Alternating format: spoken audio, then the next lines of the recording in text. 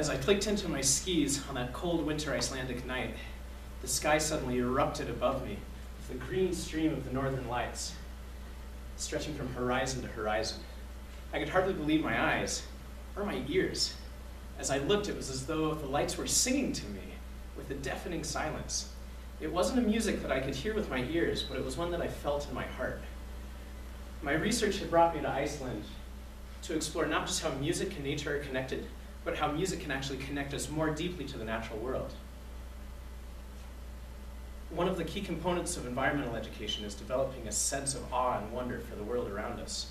Rachel Carson taught that the more clearly we focus our attention on the wonders and realities of the universe about us, the less taste we shall have for destruction. Music and nature share a long history of connection, from Beethoven's Pastoral Symphony to Kepler's treatise on the harmony of the world. Music has the power to create and reinforce the sense of wonder, both through beauty of sound that it creates and also through natural representations, intentional representations of both global and local landscapes. Um, as I traveled, I was exploring how music could do this. And as musicians and listeners create, through their performance, meaningful and emotional connections to place, they will be more likely to defend that place.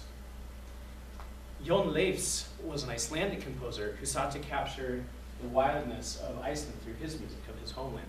The rugged character of his compositions captures this sense of wonder and this, this absolute rugged quality. Uh, one of his songs, Hekla, which is based on a volcanic eruption in 1946, this is actually the uh, eruption that's going on right now in Iceland. And he uses anvils and air raid sirens and shipping chains, cannons, musical sounding rocks, and wooden hammers striking the floor to capture the violence of the volcanic eruption. But in other works, like his Serene Requiem, he uses just the beauty of the human voice and these ethereal harmonies to capture the beauty of the glacial meadows and the, the calm of the sea.